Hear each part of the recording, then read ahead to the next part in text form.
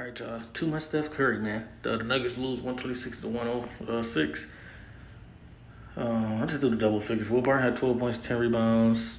Uh, Jokic had 26 and 11. You see, uh, Monte Morris had 12 points, 4 rebounds, 3 assists. Hyland had 12. And then uh, Forbes had 10. You can see the rest of it right there. And then um, for the Warriors, um, Draymond did have 6 assists. So Wiggins had 13 points. Klay Thompson had 21 points. Poole had 29 points.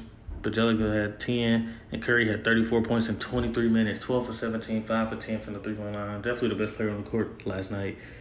Um, the Poole played good too. I'm just talking about Curry did the same thing in less than 23 minutes. Um, but Curry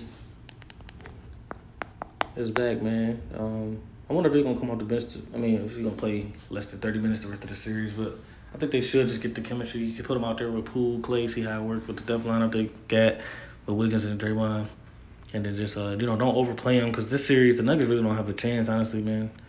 Um, Jokic is the baller, of course. Just not taken away from Jokic, but uh,